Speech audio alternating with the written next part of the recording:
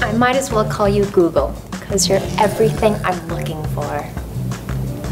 Crazy eyes. Hello.